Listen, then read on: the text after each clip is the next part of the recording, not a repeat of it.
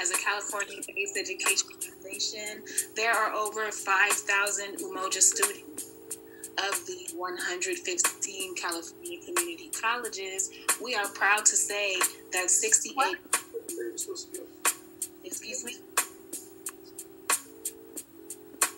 We are proud to say that 68 campuses host their own Umoja program we are very many. We are working collaboratively between program sites and the statewide foundation to accomplish our mission and achieve our vision.